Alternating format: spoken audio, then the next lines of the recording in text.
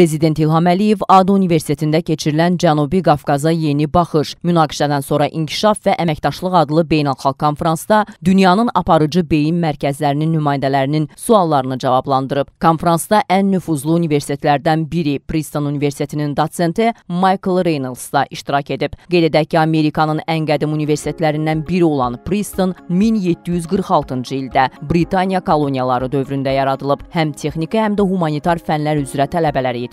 Amerika prezidentlərindən biri Woodrow Wilson bu universitetin rəhbəri olub. Wilsonun 1919-cu ildə Paris sülh konfransında irəli sürdüyü prinsiplər bu universitetin məhsulu idi. Princeton məzunlarından 40 nəfəri Nobel mükafatı, 17 nəfəri milli elm medalı, 3 nəfəri isə milli humanitar medal laureatıdır. Məşhur fizik Albert Einstein 1933-cü ildən ömrünün sonuna dək bu universitetdə dərs deyib. Hazırda təhsil ocağında 8400 tələbə təhsil alır.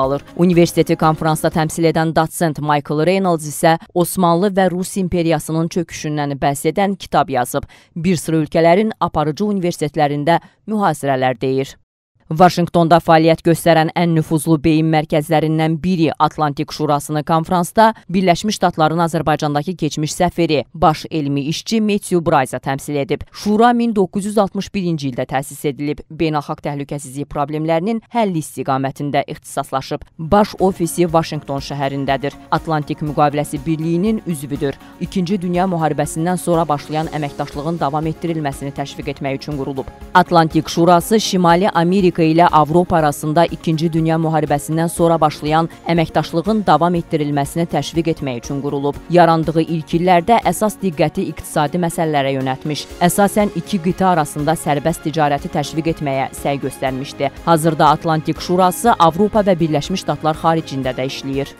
Konfransda Avropanın ən prestijli universitetlərindən biri Berlinin Humboldt Universitetini isə professor Yeva Maria Auch təmsil edib. Universitet 1809-cu ildə yaradılıb. Məzunlar arasında 29 Nobel mükafatına sahib olan alim var. Dünyanın nizamını dəyişən şəxslər Karl Marx və Friedrich Engels də Humboldt Universitetini bitiriblər. Alman Milli Birliyinin qurucusu Otto von Bismarck da bu universitetdə təhsil alıb. Təhsil ocağını konfransda təmsil edən professor Yeva Maria Auch universitetdə Azərbaycan tarixi bölməsinə rəhbərlik edir. Fransanın müstəqil araşdırmalar fondu olan Foundation for Strategic Research konfransda fondun direktor mavini Bruno Tertrais təmsil edib. Fond 1992-ci ildə yaradılıb, müstəqil fəaliyyət göstərir. Missiyası beynəlxalq təhlükəsizlik problemlərini, xüsusən də hərbi və müdafiə məsələlərini təhlil etməkdir. Qeyd edək ki, fond sözgədən mövzuları araşdıran Fransanın yeganə böyük düşüncə mərkəzidir. Enerji təhlükəsizliyi və iqlim dəyişikliyi mövzusunda NATO-nun enerji təhlükəsizliyi mərkəzi ilə müştərək veb konfranslar edir.